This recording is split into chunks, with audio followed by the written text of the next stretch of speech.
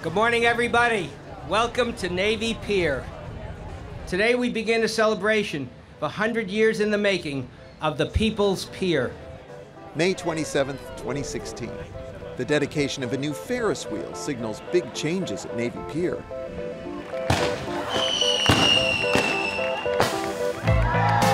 But Navy Pier has been continuously changing since it opened in 1916.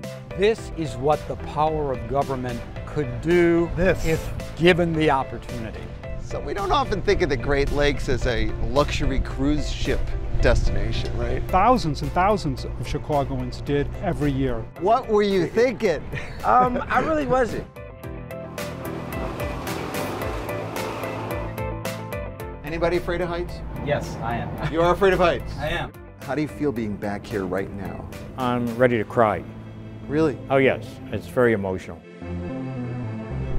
That view, that can't be beat. It's really alive. It's alive, baby. It's alive. This is the story of a century of reinvention.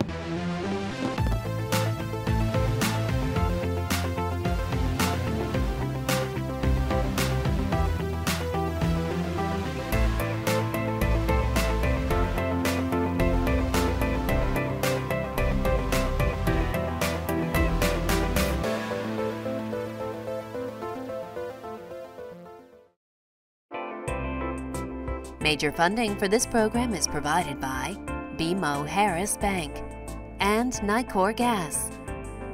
Additional support is provided by the Pritzker Military Museum and Library, ITW, James McHugh Construction Company, SP Plus Parking, Odyssey Cruises, where moments come to life on the water, and shoreline sightseeing. Explore your Chicago. Riva Crab House, Navy Pier's seafood and steak restaurant on the lakefront. And by the following.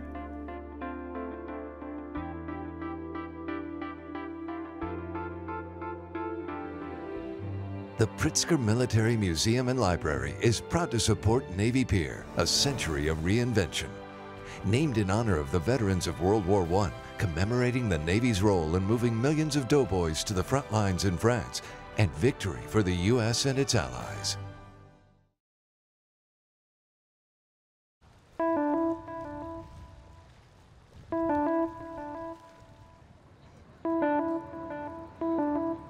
Every day they come. By bus, by car, by foot. A sea of humanity descends on Chicago's Navy Pier. And the traffic jams, parking lines, and a lot of walking, a lot of walking, none of that seems to deter them one bit. I'm here at Navy Pier to ride the Ferris wheel. He is the history of Navy Pier. When I helped my dad build it. Yeah, right. I just brought the kids down, let them experience what I've experienced in my lifetime here. This is the first time I've ever come to Navy Pier. It's really beautiful. Um, I love looking at the skyline. We've been here for like about two hours now, and I don't want to go home, to be honest. You know, in all the promotional materials, Navy Pier is always touted as the top tourist attraction in Illinois. Something like 9 million people a year come here. I've got one day to learn why. The easy answer is the Ferris wheel, It looks just like you. the cruises, Not properly dressed. We said business casual. and the views. And believe me, we'll get to all of that. But to really understand Navy Pier's appeal, we have to go back to a distant Chicago. Maybe the same location, but a much different place than the Chicago we know today.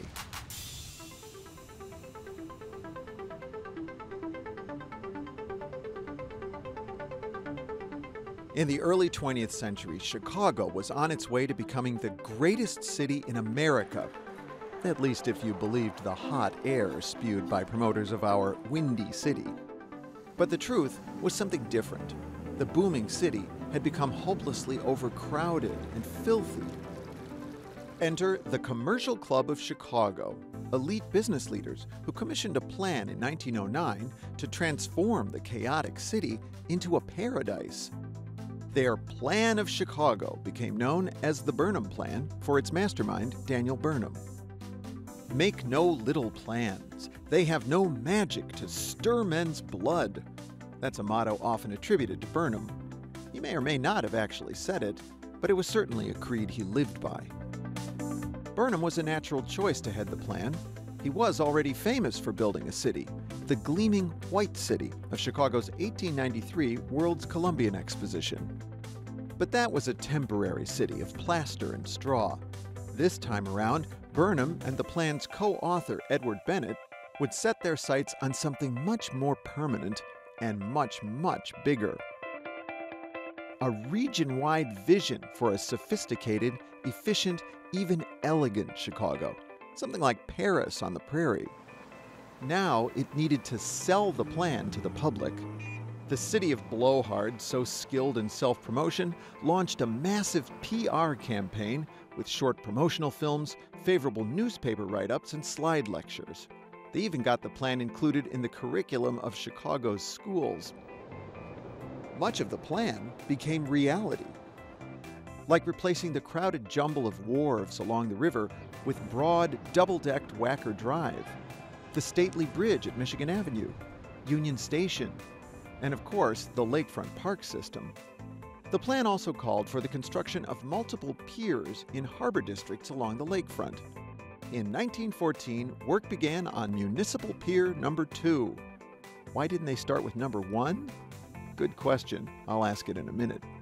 Extending more than 3,000 feet into the lake, it was the horizontal equivalent of the soaring skyscrapers Chicago was proudly building nearby.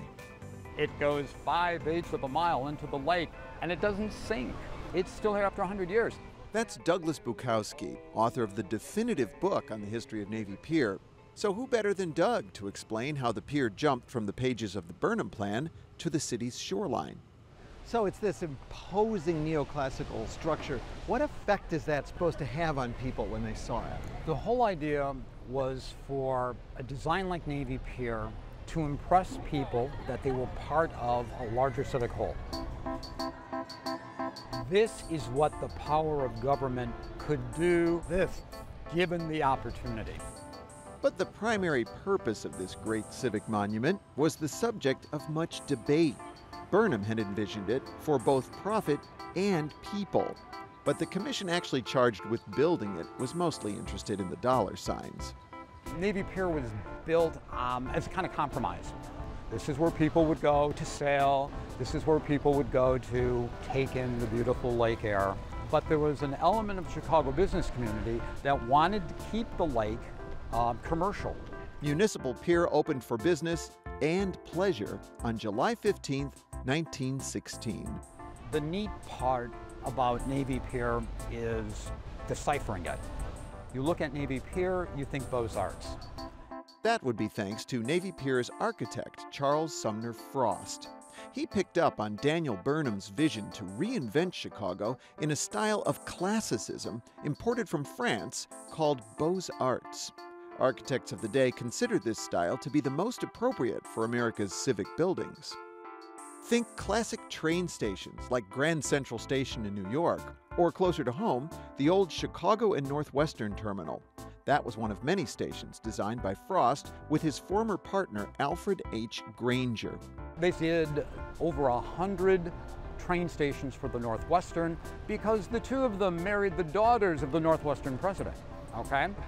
By the time Frost was commissioned to design Municipal Pier, the partnership had dissolved. His train stations had been built on land, but this terminal would be surrounded by water.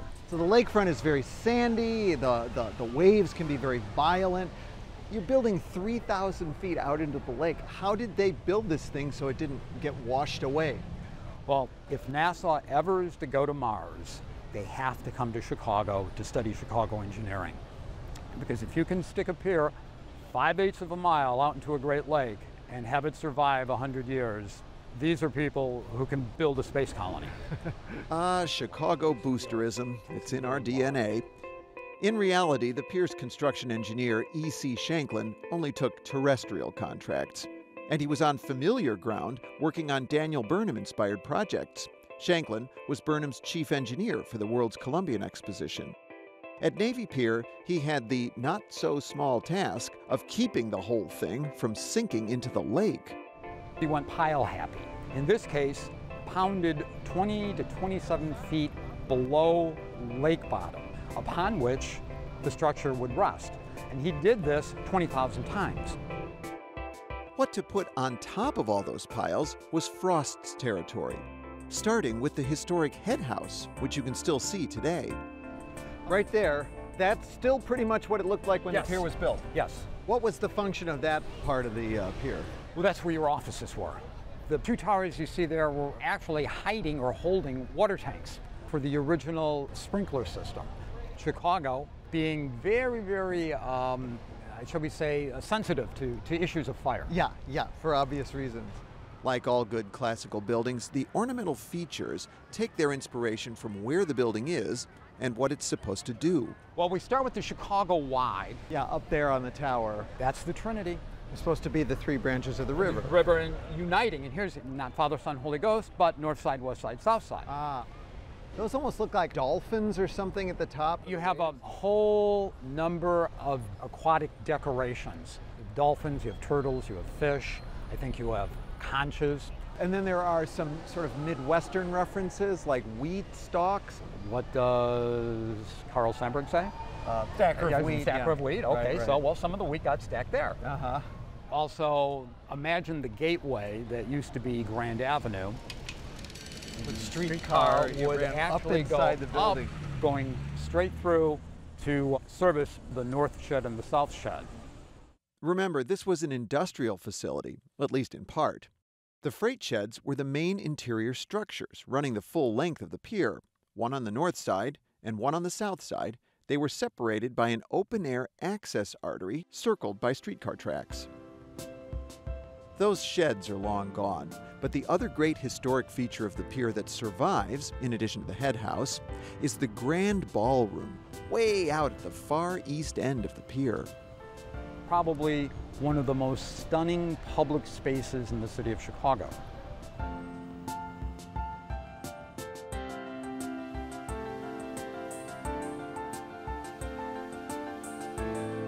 Designed by Frost as a place to meet, as a place to dance.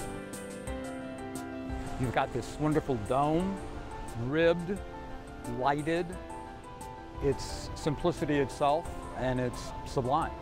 And it's actually kind of marrying this ornate neoclassicism more- it- with this, this is- industrial. I mean, you right. see the trusses, right? This is this is more Chicago, what we would consider Chicago form and function.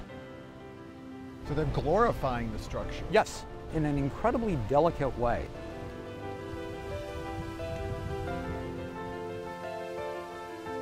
So it's originally called Municipal Pier Number Two, but it was the first one built. Why wasn't it called Municipal Pier Number One? Well, it, true, but number one was going someplace else. Okay, and then there was going to be three, four, and five. The numbering system appears to refer to where the piers would be located, not the order in which they would be constructed. So, what happened to all the others? They were never built. One reason was drastic inflation. The price tag for Municipal Pier Number 2 was $4.5 million in 1916. Within a few years, each additional pier would have cost twice that much. And then, as we know in life, stuff happens. You get 1915 becoming 1917, and you get World War I. Uh, and so the whole focus shifts away from Chicago to Europe. America is called to arms. In New York, the first volunteers are cheered down Fifth Avenue. And along the piers, an endless chain of these young recruits march into transports. Thousands of them and millions more to follow. When the U.S. declared war on Germany in 1917, Municipal Pier stepped up to the war effort. The Navy, the Army, and the Red Cross all set up training stations and recruitment centers on the pier. There was also a place for men not so eager to ship off to war. There was actually a draft Dodger roundup in the summer of 1918. They invaded then Cubs Park, checking on uh, young men's draft status, and those who were not meeting it ended up at Municipal Pier. Really? In holding, yeah. A jail on the lakefront wasn't in the long term plans. After the Great War ended, the military moved out, and the pier entered what Bukowski calls its first golden age. This is the pier functioning as first proposed. This is where people would go for those lake breezes. This is the place you go for your dances. This is the place you go for the theater, if you're a kid, or the carousel. This is where you go to the outdoor garden or for a nice beer. This is where they would go to get on the lake steamer as it was all intended. So it sounds like what attracted people to the pier early on is the same thing that attracts them today location, location, location.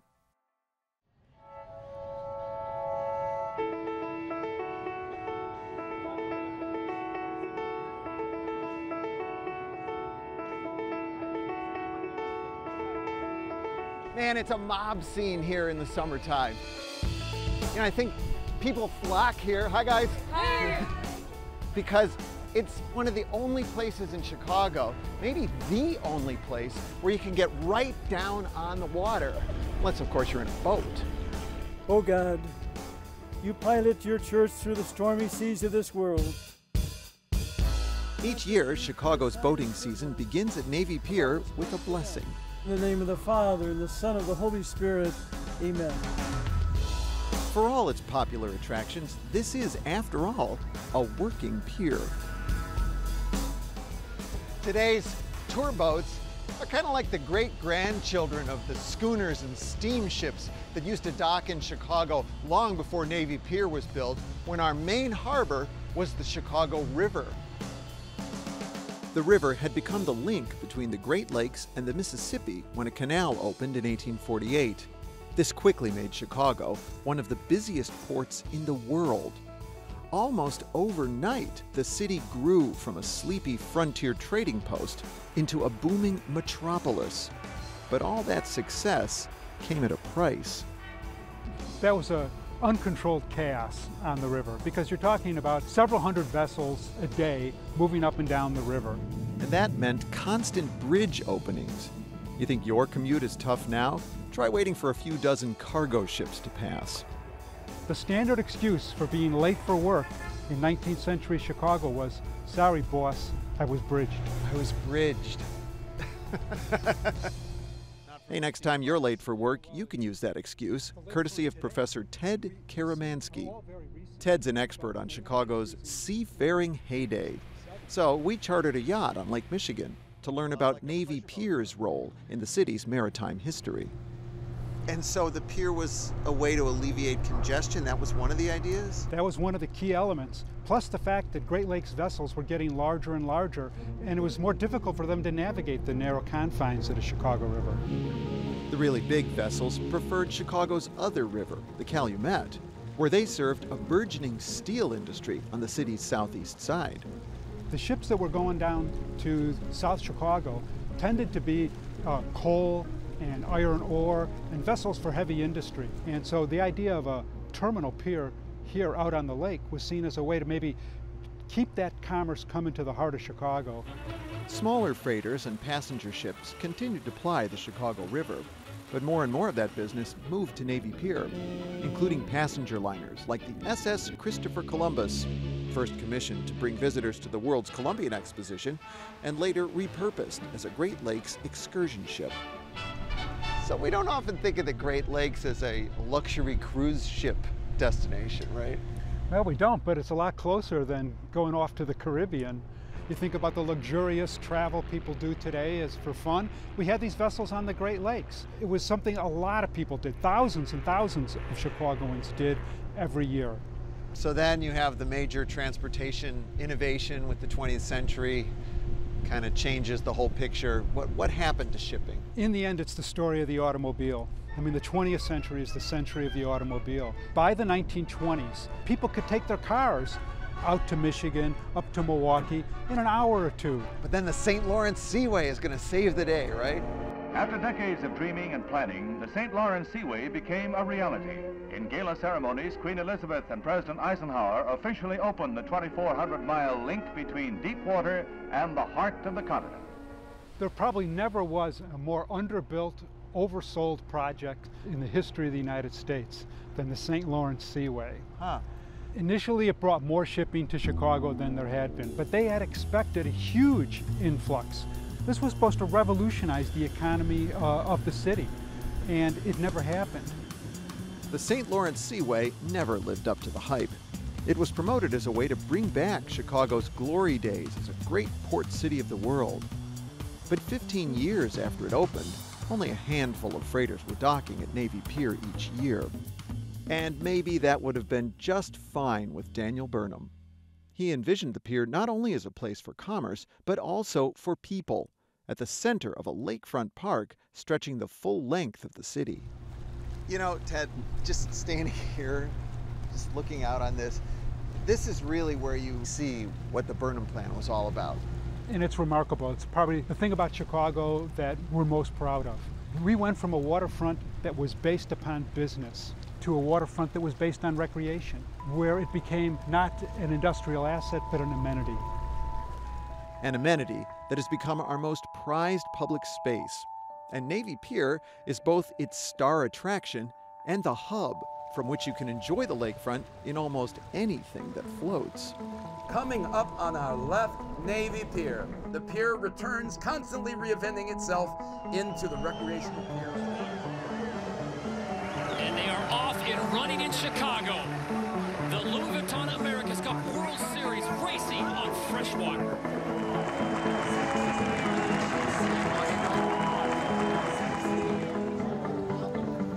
Got the paparazzi here. All the way! I thought this was going to be like a tourist thing. This was actually hard.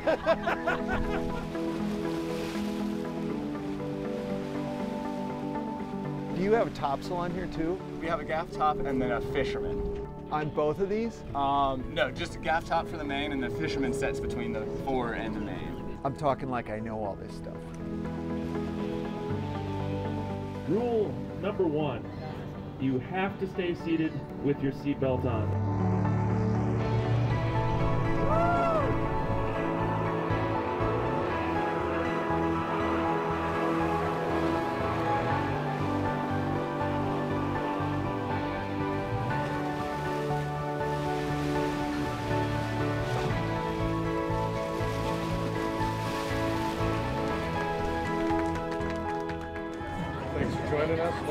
Up the ramp, please? You got wet. It was awesome. Thank you. Navy Pier is a living reminder that Chicago was and still is a great maritime city. I feel so comfortable when I'm out here. You know, a lot of people, um, they never get out on the lake, No, really. no, that's a shame. Yeah. But it's very familiar to me. I mean, this is, you know, kind of how I started on television because I was a tour guide for the Chicago Architecture Foundation. And uh, so I get out here a lot. Can you blame me?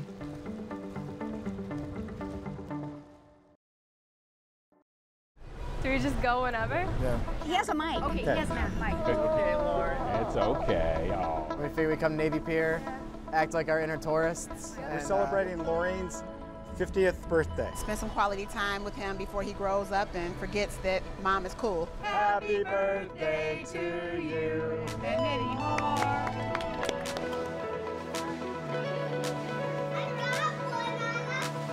Navy Pier has always been a port of call for more than just seasoned mariners.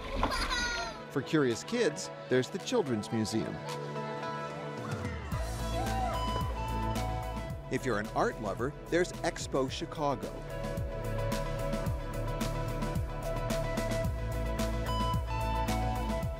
Once a year, the Pier's Convention Center becomes a mega art gallery.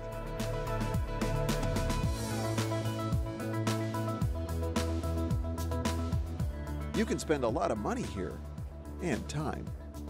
Another minute gone by. This artist, Amanda Williams, would just paint a building on an empty lot. She'd go back to look for some of these buildings and they'd just be gone already.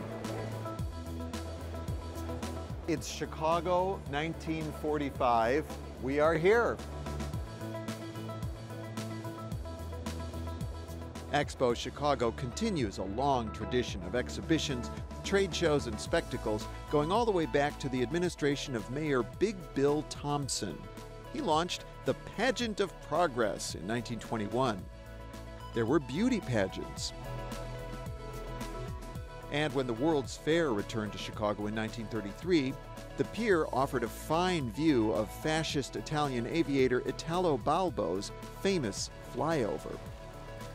By then, Municipal Pier had been rebranded Navy Pier for the veterans of the Great War. One of Chicago's earliest radio stations first broadcast from the North Tower, WCFL, owned by the Chicago Federation of Labor. This is WCFL, the voice of labor.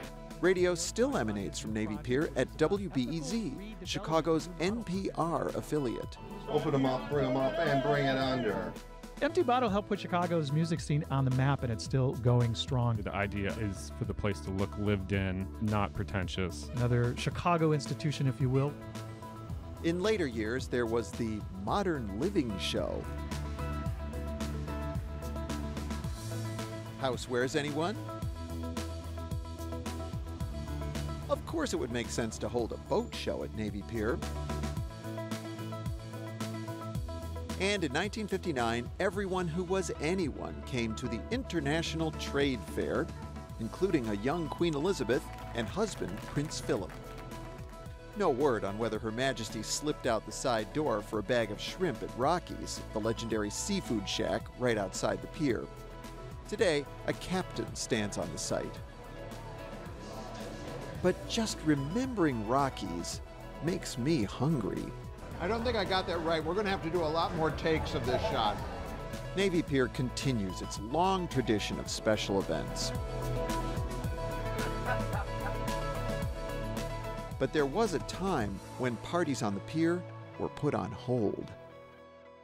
Yesterday, December 7th, 1941, a date which will live in infamy.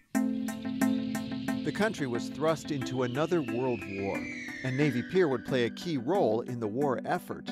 It was converted into a Navy training center for machinists and technicians. Over the course of the war, some 60,000 recruits learned and lived on the pier, including a young New Yorker, Petty Officer First Class Herb Sohn. Before I got here, I met someone up at Great Lakes, and he said, When you go down there, get the middle bunk. The upper bunk, the pigeons come over and they drop their little things on you. And the lower bunk, the rats will start nibbling at your toes. Good advice. Yeah. There are 3,000 sailors in one room. Someone had told me that it was cruel and unusual punishment to put two prisoners in the same cell. 3,000 sailors in one room, and everyone snored, I'm sure of that. The sleeping arrangements might have been less than ideal, but Herb has no complaints about the makeshift mess hall at the far end of the pier. The food must have been good. I went in at 145 and came out at 180, so oh. the food was good. Spent the rest of my life getting back to 150. While Herb and his mates were eating and training inside the pier, outside, two makeshift aircraft carriers used Navy Pier as their base of operations to train desperately needed fighter pilots. Navy Commander Richard F. Whitehead had realized carrier training on the east and west coasts was too dangerous because German and Japanese subs patrolled those waters. Admiral Whitehead decided, he said, you know, why don't we use Lake Michigan? It's perfect. No one knows about it, and we can train all our pilots here. But of course, there weren't any aircraft carriers on the Great Lakes. So Whitehead convinced his superiors to convert two side-wheel passenger steamers, the SS Seeandbee and the Greater Buffalo, into makeshift flat tops. Renamed the Wolverine and the Sable, they allowed Navy pilots to get their CQ, or carrier qualification. And boy, did they earn it. The flight decks were about half the height above the water of normal carriers, and much shorter. The narrow margin for error, combined with the choppy seas on Lake Michigan, proved too much for many rookie pilots.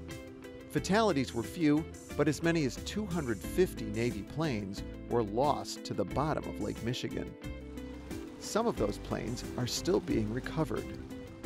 Despite those mishaps, many of the pilots trained on the Sable and Wolverine wreaked havoc over Europe and the Pacific, including future President George H.W. Bush. In every town and hamlet across the nation, the story was the same. Chicago heard the news, and a hurricane of unrestrained hilarity blew through the Windy City. training of our pilots here in Lake Michigan probably contributed to the winning of the war.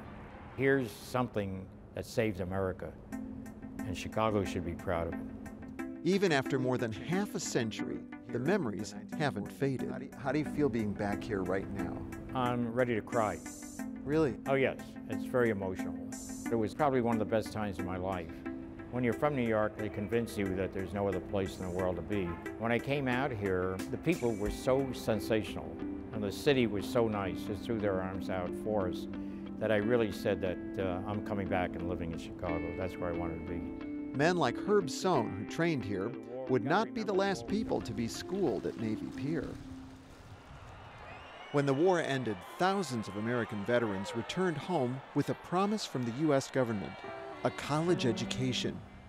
But the GI Bill didn't cover enough tuition for expensive private schools, and state schools like Champaign Urbana were too far away for many vets and already crowded. Hmm, if only a large enough facility could be found near downtown Chicago. My name is Bernard Baum. In 1953, I was a freshman at the University of Illinois at Chicago, known to us as Navy Pier.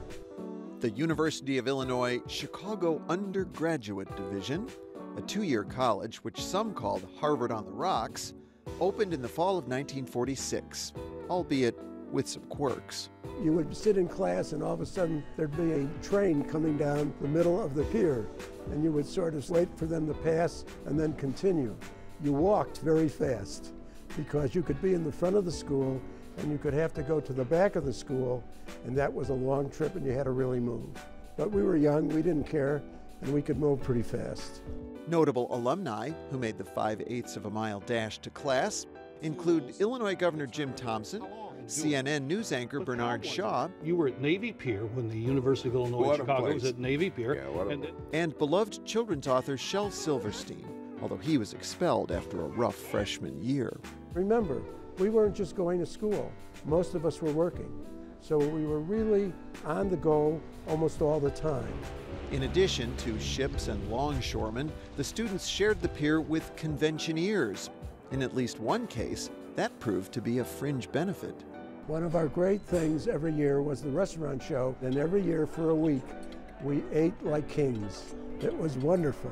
Whenever I see somebody who went to school with me, we always talk about that.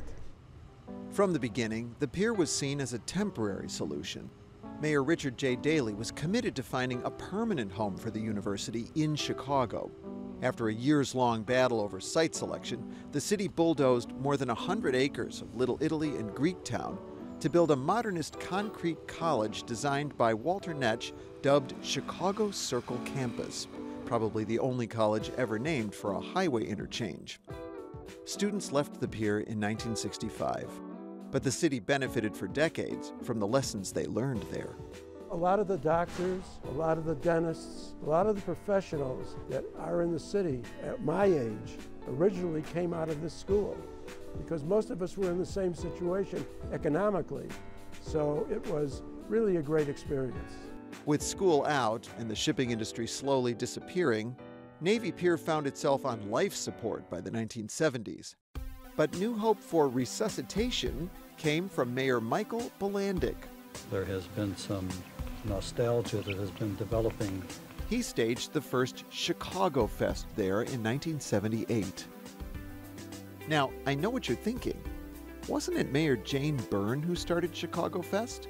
That's what I always thought. But Mayor Byrne actually tried to cancel the fest when she took office in 1979, according to the Tribune's Rick Kogan. By the way, in that same article, he described the pier as, quote, crumbling and rat infested. The mayor's decision was met with loud opposition from the public and labor unions, and so if you can't beat 'em, she rebranded it Mayor Byrne's Chicago Fest, and she even got into the act by introducing the Blues Brothers from the stage. Festival goers came by the tens of thousands. It was the most diverse collection of musicians you've ever seen. It was just amazing, all the intensity, all the power, just the people going back and forth. Dubbed Rock Around the Dock, the pier featured multiple stages for rock and roll, country, jazz, and the blues. My name is Eddie Clearwater. better known as Eddie the Chief Clearwater. I played at Chicago Fest between 79 and 83. I hope it will come back because I had a good time.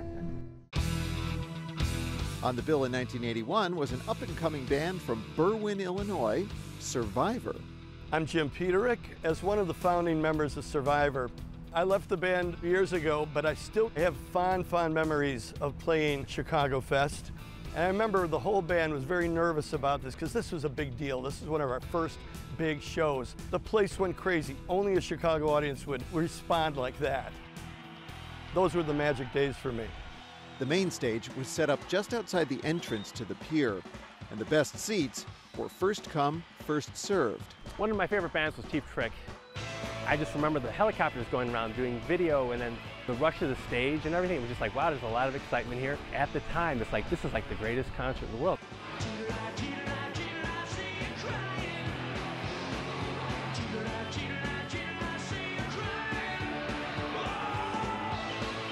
So many more big name artists played Chicago Fest, we'd go broke licensing all the clips for this show. But this clip of blues legend Muddy Waters was too good to pass up.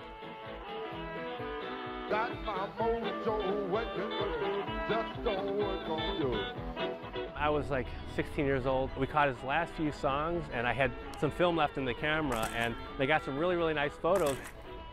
I think he passed away within about a year and a half after that. It's like, man, this is really, really good stuff. And I love y'all. Just don't let go.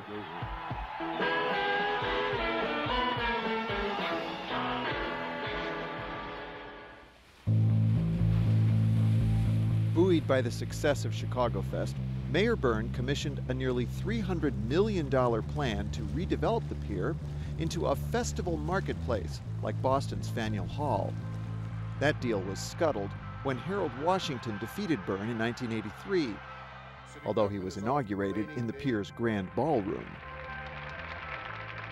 Washington commissioned a new plan to convert the pier into something more like an urban park. Restoring Navy Pier to allow maximum use of Chicago's lakefront that reflected his vision for a more inclusive Chicago.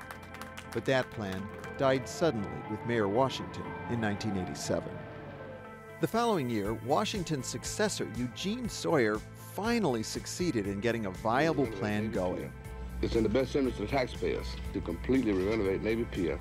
But it was the next mayor, Richard M. Daley, along with then Governor James R. Thompson, who did most of the heavy lifting to make the dream a reality. Remember, Thompson was an alum of the University of Illinois at Navy Pier. With all that clout working overtime, the pier's rebirth was off and running. The city of Chicago sold Navy Pier for $10 to a newly created independent corporation that would run both the pier and McCormick Place, so people nicknamed it McPier.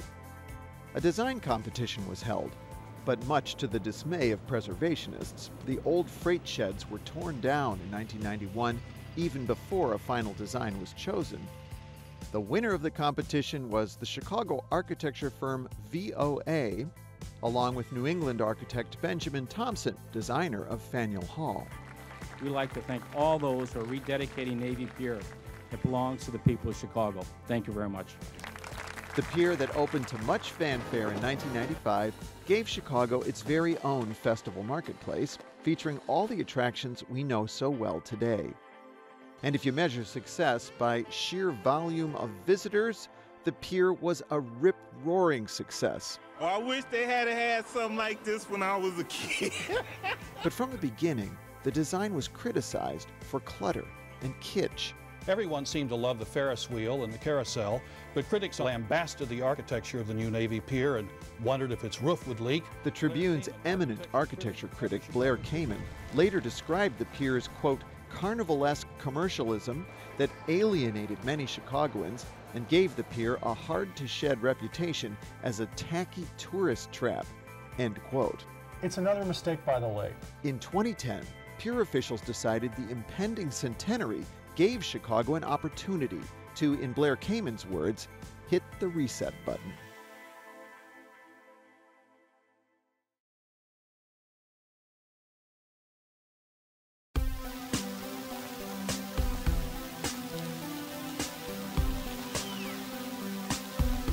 reinvention. It's a concept Navy Pier has been very familiar with for its entire 100 year history. Out with the old and in with whatever's next. And as in the past, when the call went out seeking new design proposals, there was a long list of suitors. A Navy Pier Advisory Committee has selected five finalists in a competition to give the pier an extreme makeover. This is a case, Phil, of following Daniel Burnham's advice to make no little plans. These plans are definitely bold, but Navy Pier officials say that is what they wanted. The winning proposal came from the New York based landscape architecture firm James Corner Field Operations. They zeroed in on what many felt was the pier's biggest problem. You can be blunt. What, what was wrong with Navy Pier before? It was more focused on commercialism and entertainment, and it had a kind of carnival-esque atmosphere. It was perceived as maybe a place that was just for tourists, Mm-hmm. you know, not for locals. But designers Keith O'Connor and Sarah Astheimer of Field Operations had to be careful. Although the kitschy festival marketplace concept seemed dated, it wasn't exactly hurting the bottom line. They still had plenty of people coming, they have a big crowd, but I think there wasn't the same kind of civic pride that people had for other Chicago institutions. Navy Pier CEO Marilyn Gardner wrestled with the same question. If it ain't broke, why fix it? Well, we recognize that it was not broken, that it was hugely successful and far exceeded anyone's expectations. But after seeing what could be done when Millennium Park was developed, it really showcased that higher design and being open and accessible to the public shouldn't be mutually exclusive. One of the important parts of what we were trying to do is create a space that was authentic for the city. So, how did these out of town architects set about creating something authentically Chicago? Well, they drew on their experience reinventing a relic of New York's industrial past, the High Line. And they focused on what charmed them most about Navy Pier its lakefront location. I think us being from out of town in some ways helped because every time we came to the pier, you'd see the water and this incredible color of the water and the horizon, and you're just blown away and said, we need to make sure people see that, experience that, emphasize that. To bring out the best of Navy Pier, the designers went on a mission to declutter, removing barriers that compartmentalized the pier. And that began with the front porch, a 17 acre green space now called Polk Brothers Park. It was always seen as a precursor, something that you went through to get to Navy Pier. You weren't at Navy Pier until you got onto South Dock. Polk Brothers Park for us was all about entrance and arrival and about creating space for the community that would engage people. I think you can see in the background right now, quite engaging for young people. There used to be literally a wall and a gate, and that marked the threshold. And one of the first things we said is we have to take that away so that Polk Brothers Park and South Dock and Navy Pier are integrated. For the first time in years, you could walk onto South Dock and look all the way to the end of the pier. You could get a glimpse of the horizon and the lake and understand the pier's massive size and scale. Our big move was to say Polk Brothers Park needs to be part of Navy Pier. And so we took some of the greenery of Polk Brothers Park, the trees and the grass, and we pulled it onto South Dock. And you look back toward the city, there's this incredible corridor that's lined with an alley of trees that aligns with Illinois Street and runs back into the grid of Chicago.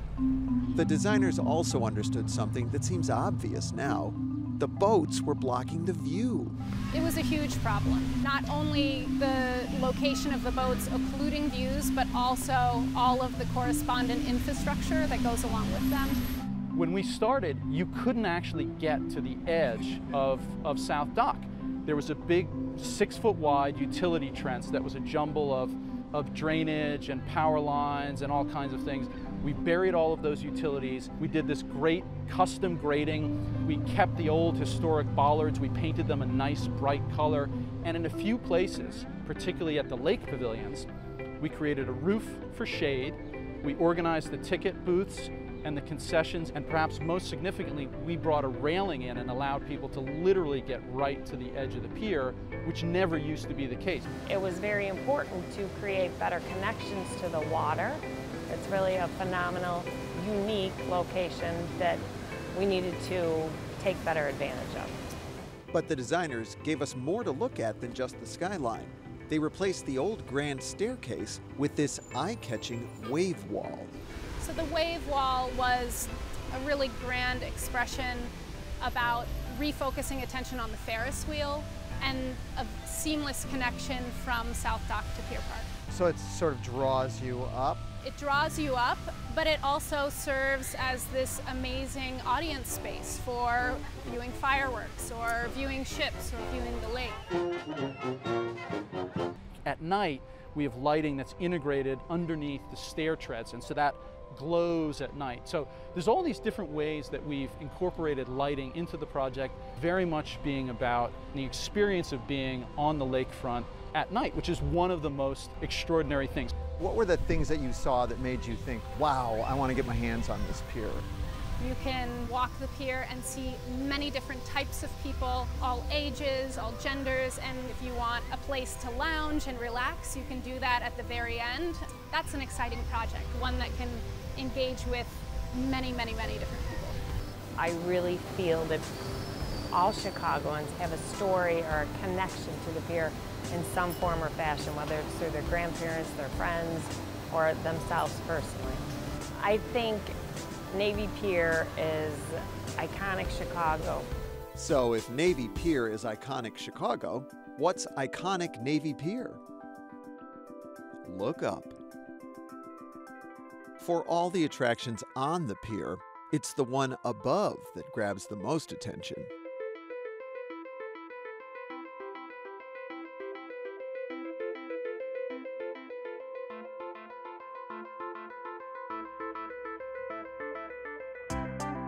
Towering 20 stories above the lakefront, the Ferris wheel is an homage to the world's first Ferris wheel, erected in Chicago way back in 1893. George Washington Gale Ferris answered a challenge from Daniel Burnham to create a larger than life attraction for the World's Columbian Exposition. Ferris pushed the limits of 19th century engineering. The result was a wheel more than 26 stories tall. Each of the 36 cars was the size of a streetcar and carried 60 people. That's 2,160 riders at a time. You know, Daniel Burnham challenged us to make no little plans. Now, that wheel might not be as big as the one from 1893, but I think Mr. Burnham would approve. Named the Centennial Wheel in honor of the pier's 100th anniversary in 2016, it replaced an earlier Ferris wheel that had spun over the pier for more than two decades. With 42 gondolas, this wheel can hold 332 riders at a time. Today, I'll be one of them.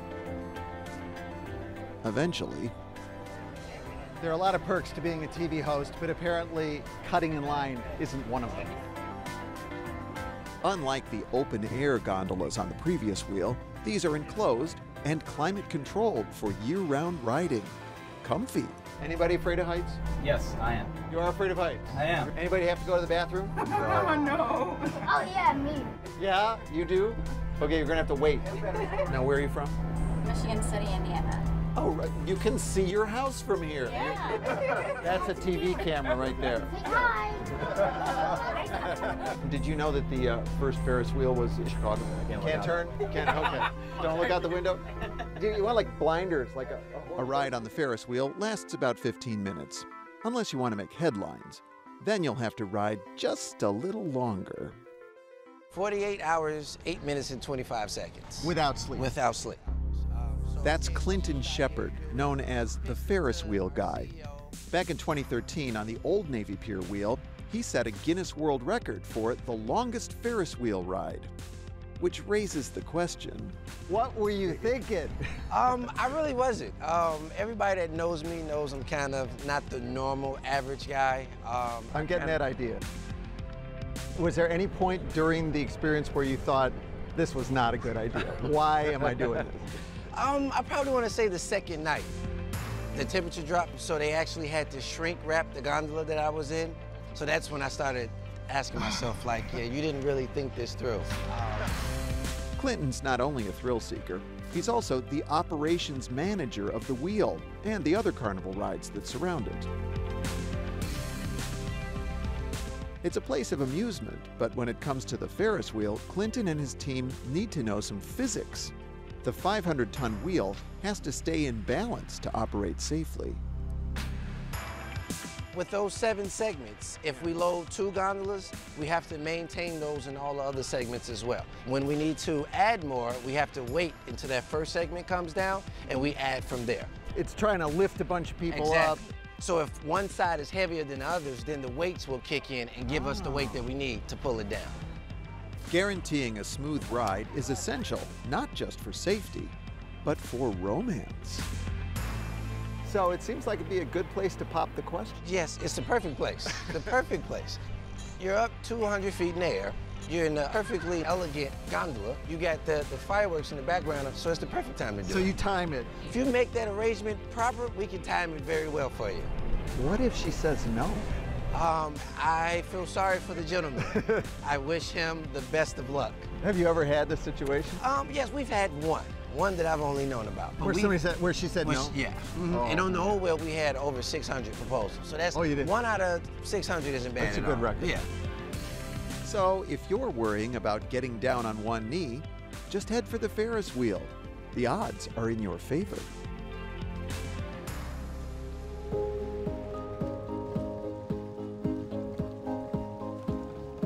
Among the millions of Navy Pier visitors every year, you might spot Hamlet, Lady Macbeth, or Othello. Because the pier is home to Chicago Shakespeare Theater,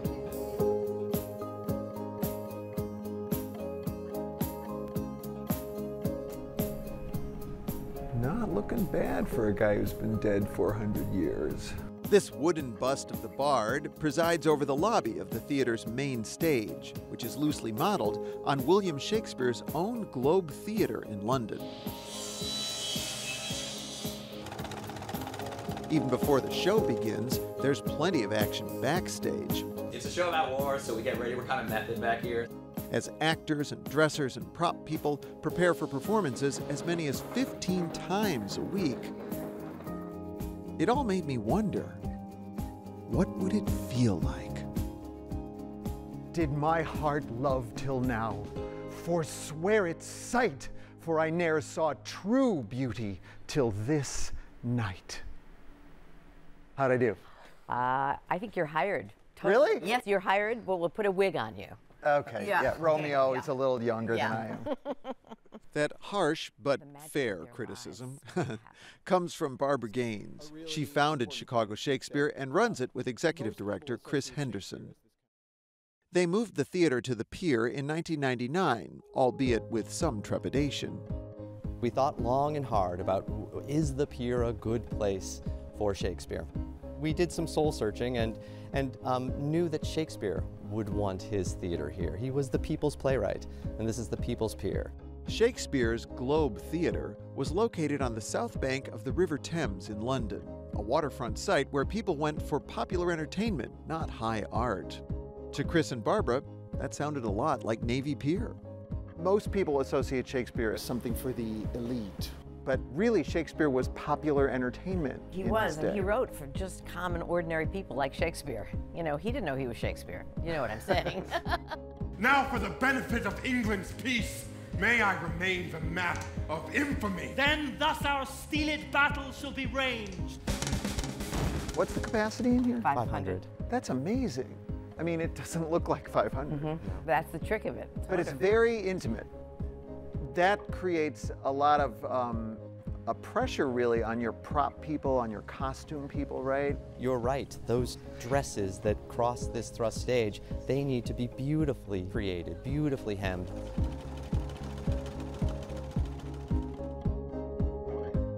The wigs have to be perfect. If that's not there, it's all lost. And The audience it is being so there, That's close. right. Can't get away with anything Nope. at the thrust stage. Nope. A thrust stage has audience on three sides, And Barbara, Chris, and I will need to quickly exit this thrust stage because the performance is about to begin. Well, there's no curtain, but curtain time. Uh, what's going on backstage right now? Well, the actors are getting together, the crew is probably back there getting the props ready, and people are warming up.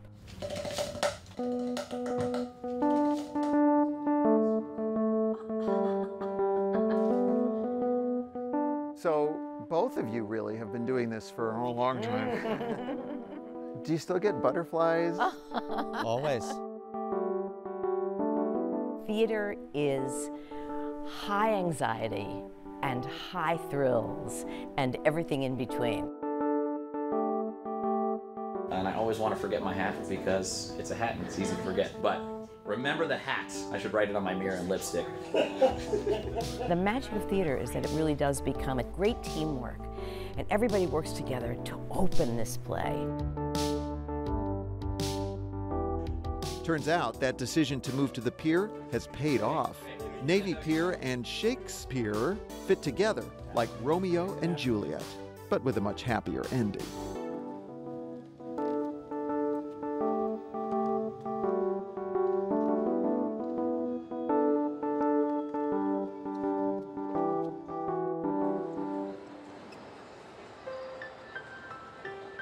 Chicago Shakespeare gives the audience an intimate experience.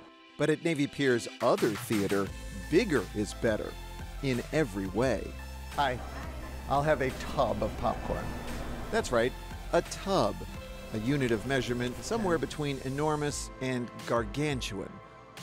I'll take a quart of butter, please. Thank you. Thank you. Supersized snacks are only fitting since the screen at the IMAX theater is roughly 5,000 square feet. That means everyone who appears on it is a really big star. I feel like I'm right there. Navy Pier itself has played a starring role in some major motion pictures. Seems like Hollywood directors just can't resist the lakefront location and skyline views. But why do so many of them insist on blowing the whole thing up? In this case, the pier was caught in the crossfire between Autobots and Decepticons. Cue the hero. Who's up for a little dystopian capture the flag? Navy Pier as a post apocalyptic playground? What would Daniel Burnham think? When the Joker throws Chicago, aka Gotham, into chaos, where do the citizens go to escape? Navy Pier, of course. Now, that's one sightseeing boat I wouldn't want to give a tour on. Even in the days when the pier was a dilapidated white elephant, Hollywood loved it. Plenty of room for an Arnold Schwarzenegger car chase. Well, here's a great view of what the South Dock used to look like, minus the heavy artillery.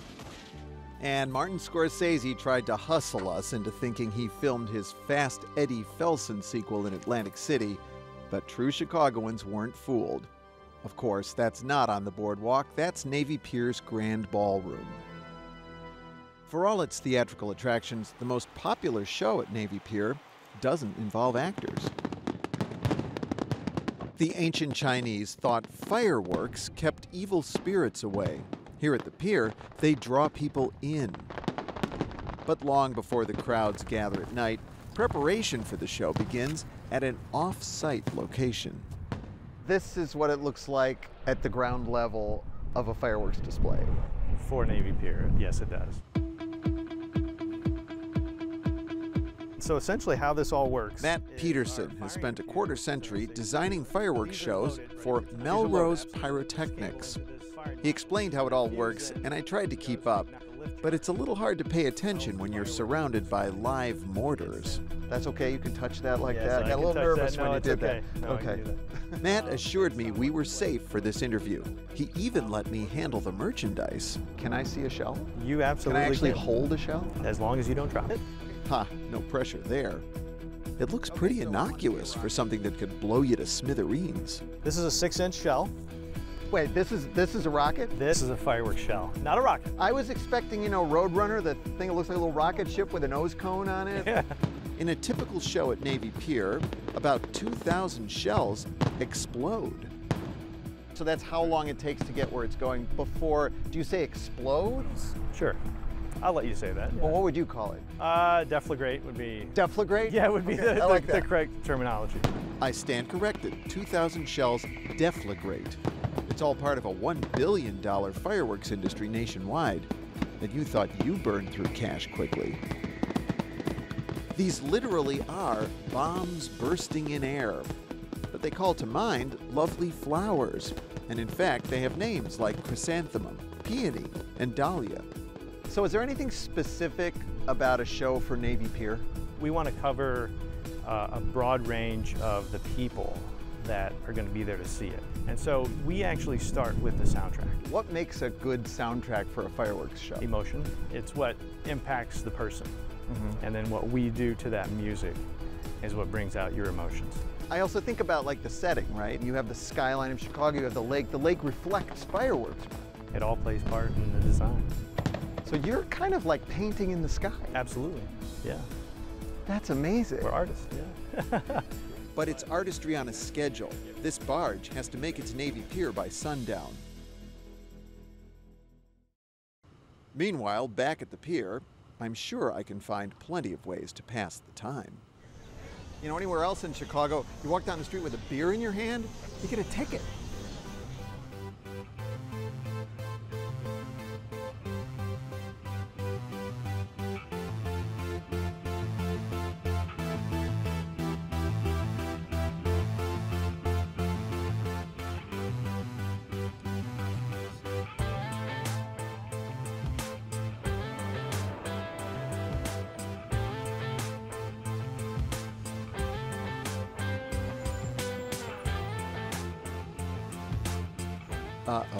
Looks like the only fireworks today might be courtesy of Mother Nature.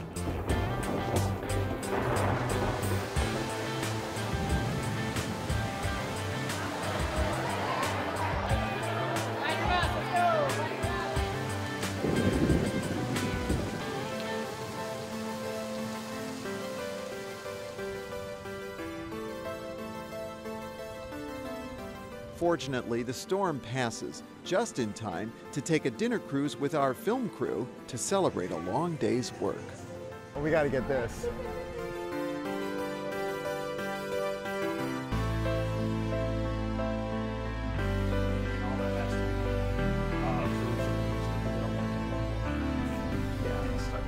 It looks like it gets shallow in there. Is that sand I'm seeing? Yeah, it's sand getting picked up from the wall. Now the jump along crab case comes with a There we go.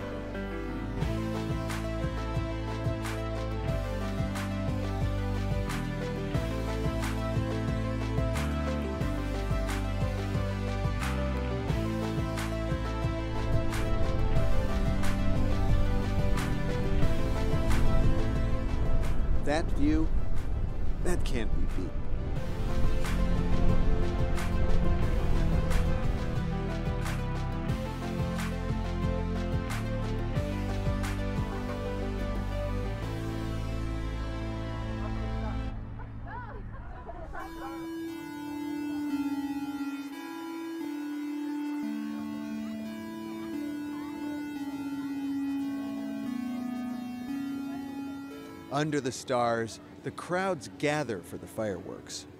I marvel at the sea of humanity with Michelle Boone, the Pier's Chief of Public Programs. You know, as you're talking to me, I'm looking around, I'm looking behind you. Look at all these people. It's really alive. It's alive, baby. It's alive.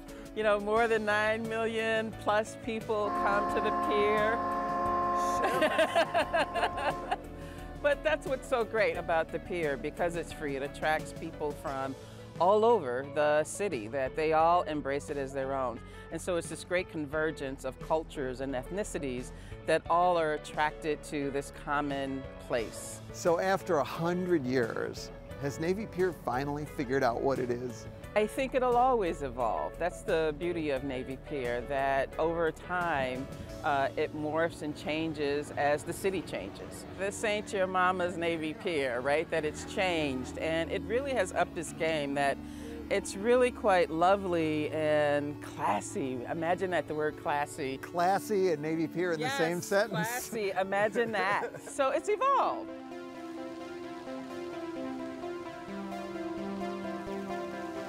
So, at the start of this show, I said I had one day to find out why Navy Pier is such a tourist magnet. Oh, man. And I'll admit, like many Chicagoans, I was skeptical.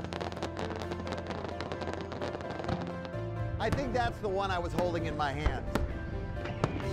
But after spending all summer at the pier, okay, it actually took a lot more than one day to film this show, here's what I finally figured out. Virtually every other part of Chicago's lakefront is parkland. Navy Pier is the only lakefront location in the city that offers both the beautiful views and, yes, the commercial attractions you find in other great waterfront cities. Standing shoulder to shoulder amidst the diversity of Chicago, I feel hopeful that as more of the pier is improved, we can reclaim it as a destination for Chicagoans and not just tourists.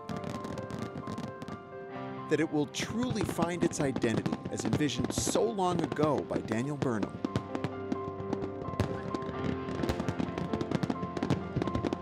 The People's Pier.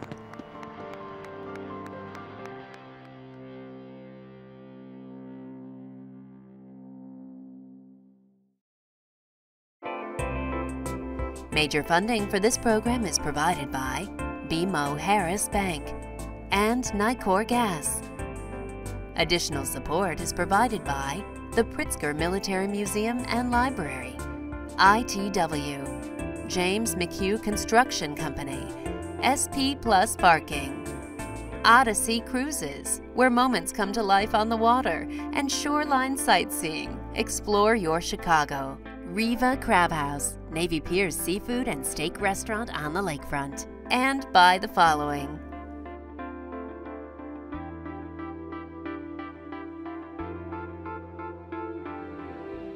The Pritzker Military Museum and Library is proud to support Navy Pier, a century of reinvention. Named in honor of the veterans of World War I, commemorating the Navy's role in moving millions of doughboys to the front lines in France, and victory for the U.S. and its allies.